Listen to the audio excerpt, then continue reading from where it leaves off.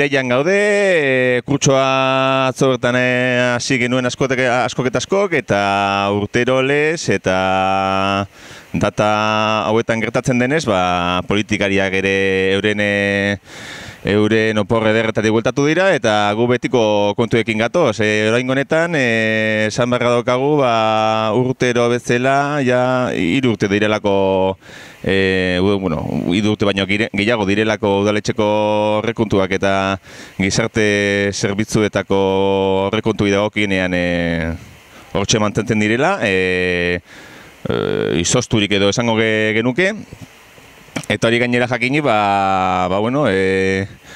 azkenengo sei urte hauetan, ba, urte zurte laguntza hauek eskatu, eskatzen dituzten e, familien kopurua e, tengabe goraka doan inean. Ontako ontan, bueno, ba, historia berdine, berdine dugu, naizta, naizta disfrazak eta aldatzen diren, Artengoa ba, hori izaten e, gabiltza, ba, aurrekontu hauekin e, aurrekontu hauek eta eta diru laguntza hauek ba, gaixorik hartzen gaituztela, ez da goinelako inolako kopuru beharrezkorik eta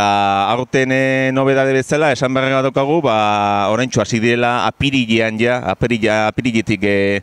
diru laguntza hauek eskatu zutenei ba ofizinetan atentzioa ematen. Horrek esan nahi du aurten e, eskatzen duen e, familientzako ba oraindik atzerako joango dela e, normalean bi bete baino gehiago e, eskatzen duen e, prozesu guztiak.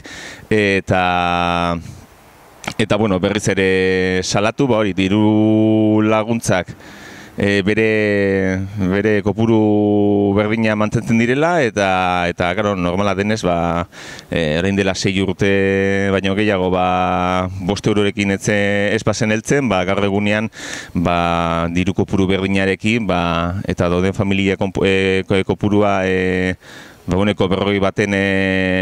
e, dela jakitun, ba, areta gutxiago.